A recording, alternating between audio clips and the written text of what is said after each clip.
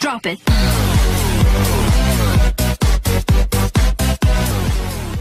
We are starting our day at Petco. That's right, we're at Petco. Now the reason we're here is because the craziest thing has occurred to Phoenix.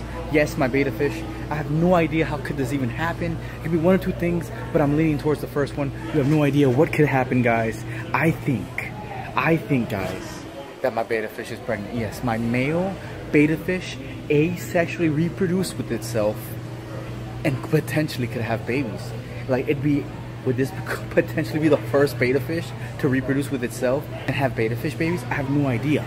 Now, I'm gonna go ahead and I'm gonna look at these bettas here at Petco so I can find out if that can actually happen. So here's this koi female, no belly there. And the females are usually obviously the ones to be pregnant. Now I have this other beautiful koi female and this, ooh, look at this dragon scale male. Do I, does, does it show any any giant bellies, any signs of giant bellies? No. So, more dragon scales males, nothing. So this could be a fluke. This could be like, did I discover something? That did, are we the first ones to do it, guys? It'd be pretty crazy because he's alone. No one's in there. Nothing has been in with him. Here's this beautiful elephant ear female. Kind of like, see, she kind of has this little gut you know yeah your fish can be healthy but they can be pregnant you know This is half moon double tail plakat male. Oh, really? It's a plakat? So it's small. Wow. Look at this platinum dragon male, guys. Look at this. How beautiful is this? This is the craziest thing ever. And then there's another one in here, I think. there he blows. Wow. But to be honest, I have favoritism towards this one. Phoenix is pregnant. We're gonna have to get a lot of things for a baby betta fish, man. I feel like everything's getting pregnant nowadays. Hopefully not me. Now look, look at these balloons. Are you pregnant? Are you fat and pregnant? Oh, you're just taking a poop. Are you fat and pregnant? Are you fat and pregnant? Oh my gosh, everything's fat and pregnant. Oh man, I can't wait to go ahead and start breeding all these guys. It's gonna be cool guys. I got some big plans in the future in the fish breeding life industry, hobby, whatever you wanna call it. It's gonna happen. Are you pregnant? Mm, no, you're not. Wow, that's a pretty, pretty Bumblebee Betta, guys. Wow. The colors on that one are insane. But I'm in love with the Platinum Dragon Male. Hey, little man. What's going on? So I'm going to bring out the Platinum Dragon Male, guys. Look at this gorgeous being. Reveal yourself. Show your slayers your beauty. Wow. That's an amazing betta, guys. Maybe one day I'll do a sorority or something. Or fraternity. Well, fraternity can't happen. But sorority, sure. Just so confused. Like, I have no idea what's going on with Phoenixes. I have no idea. These bettas are looking fire, and now we're gonna head out and look to see what went down with our betta Phoenix. Okay, Slayers, we are back. And hey, hey, hey, stop that. So we have our two crawfish here.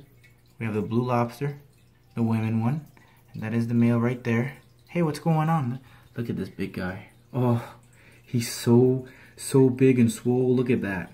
Oh man, I can't wait to start breeding all these guys, but they're doing pretty good. So, guys, I'm gonna give you an update on the blue lobster right here. Her name is actually gonna be Crayola. One of the slayers suggested that name, but definitely Crayola is a perfect name for her. And I've also decided just to go ahead and name this guy Blue. Someone else named it Blue. I gotta get better at paying attention to the username so I can go ahead and put them in the video so you guys can get the credit.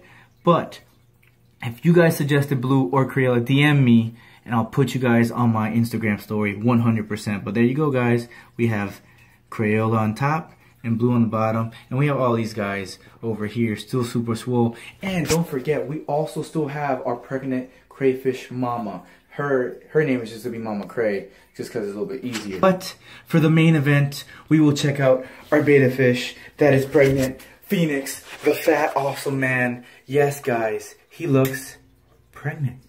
Isn't that the craziest thing you guys have ever seen? A male betta fish that is pregnant? This is insane. He is super bloated, but he's walking around pretty good. Look at that. Hey, buddy. How's it going?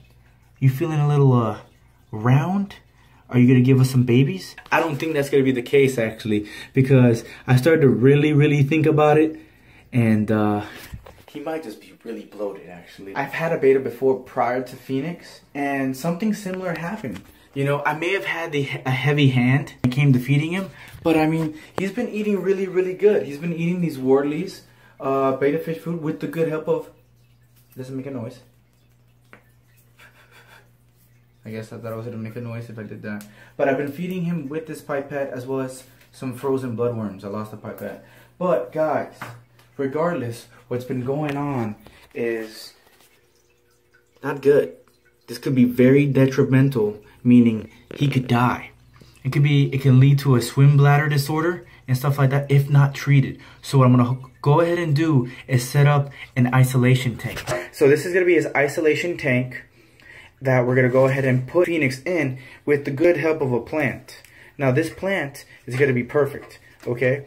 Now you wanna go ahead and put some structure and you wanna just have nice clean water. Now we're just gonna go ahead and dechlorinate this water. It's not gonna be cycled or anything like that. Now, the main thing that has to happen is this right here, guys the petite in in bag green peas. Peas must be frozen so they have killed off any parasites that are inside the peas. Okay, you can't use fresh or raw peas. Now, we're not going to use the entire pea. We're only going to use the outer film, like the skin of the pea, because it is a fantastic laxative for bettas. Now, I have done this, and I have cured my previous betta from constipation by doing this exact thing which I found on the internet. Alright Slayers, and we're back with my telescope net and some prime that I need and my pipette.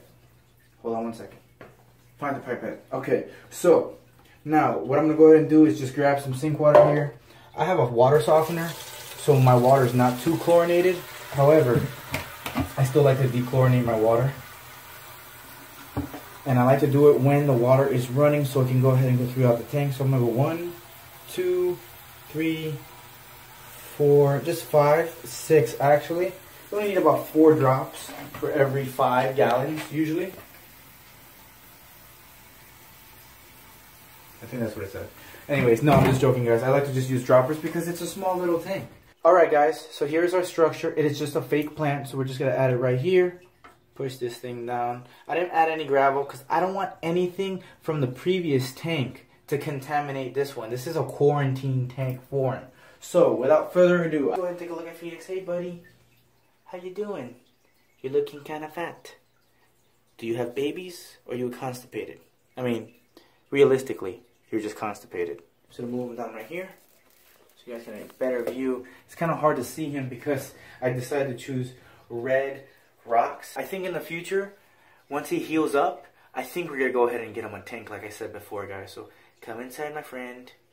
Come on, Phoenix. Come on. Guys, he's a trooper. He was one of my first fish that I've gotten on YouTube. And on top of that, he is the fish that survived the crazy roller coaster. Our boy here is a savage. He's an absolute savage. So we're going to go ahead and put him in here as fast as possible. There you go. Oh, wow. So he's looking pretty good. Actually, I think our pee is done. So I'm going to grab the pee. So here's our pee. Now, I'm just to drain it out. Here's our thawed out pea. Now, what you want to do is just try to grab the skin. Just the skin is all you want. You don't want to go ahead and actually use the entire pea. So you just want to get the skin.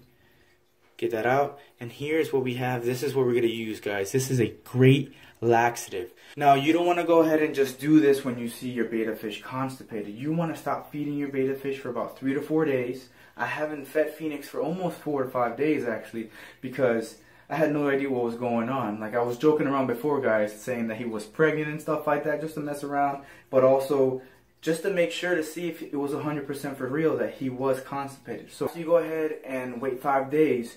Now you feed your betta fish a pea. So here, come check it out. Now you want to get little perfect betta sized pieces. So I've seen him crush flakes before in the future. So our boy's a big boy, Phoenix is not shy at all. So hopefully he'll eat. He has not eaten like I said. So this should be good. Alright guys, so now I have my pieces right here. We're going to go ahead and try to feed Phoenix for the first time in four days. Now, it's going to be kind of odd because he's never eaten peas. So he's going to look at it like he's like, what are you feeding me, Dad? Like, what's going on? So I'm going to try to see if he eats. He's actually getting air right now. He's doing a great, great job.